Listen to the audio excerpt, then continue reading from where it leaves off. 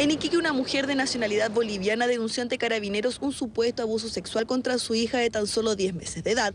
La madre se encontraba trabajando en una casa particular donde realizaba el aseo. Relató que luego de terminar de hacer sus deberes, se dirigió hacia el lugar donde se encontraba su pequeña hija. Justo en el instante en que se aprestaba a amamantar a la menor, advirtió en su ropa y cuerpo que algo había ocurrido. Alarmada, inmediatamente acudió a interponer la denuncia. Y esto se habría provocado el día de ayer cuando la mamá realizaba labores de hogar en este domicilio particular ubicado en el sector sur de la, de la comuna.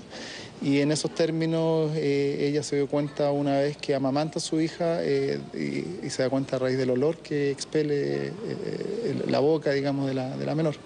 Así que, en definitiva, eh, se habría provocado un abuso donde habría quedado residuos biológicos la, en la, boca de la menor. La mujer llevó a su bebé al consultorio y desde ahí fue derivada hasta el Hospital Regional de Iquique. En ese lugar, la menor fue examinada por peritos del Servicio Médico Legal para determinar la veracidad de la grave denuncia. En la fiscalía donde se investigan los hechos se manejan ciertas hipótesis que fueron planteadas por la propia madre de la menor, supuestamente abusada. Sin embargo, no se da cuenta de la identidad de algún sospechoso.